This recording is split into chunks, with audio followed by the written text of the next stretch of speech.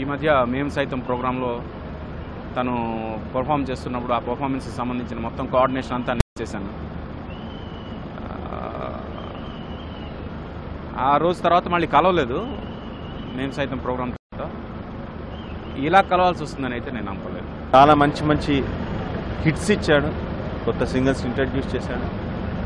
అట్లాంటి చక్రి లేడు అని వార్త వినడం అసలు జీర్ణించుకోలేకపోతున్నాం. మెయిన్ ఏంటంటే తన హెల్త్ తను చూసుకోలేదు. ఈ విధంగా చక్రి గురించి మాట్లాడాలని అనుకోలేదు నేను అసలు. మాట్లాడతానని కూడా అనుకోలేదు. మేమందరం ఒక ఫ్యామిలీ మెంబర్స్ లాగా ఉండేవాళ్ళం. చక్రి ఎంత క్లోజ్ అంటే తన పర్సనల్ విషయాలన్నీ నాతో డిస్కస్ చేసేవాడు. చాలా మంచి వ్యక్తి. స్వతహాగా హెల్పింగ్ నేచర్ ఎక్కువ.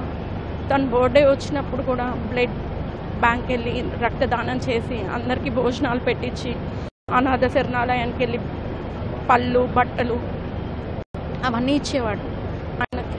నిజంగా తనకి అయిన దానికే ఎక్కువ ఇచ్చేసాడేమో అందుకే దేవుడికి అంత నచ్చి తీసుకెళ్ళిపోయాడేమో. One of my first playback songs Chakri గారితోనే పాడాను. ఆయన ఫస్ట్ సినిమా కూడా బాచి.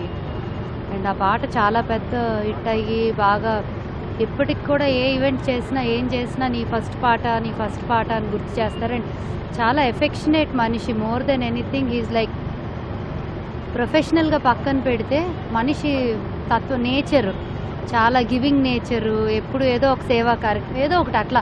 అండ్ చుట్టూతా తన మనుషుల్ని చూస్తే అర్థమవుతుంది ఎంతమంది తన మీద డిపెండ్ అయ్యి ఉంటారు ఎప్పుడు చూసినా కూడా.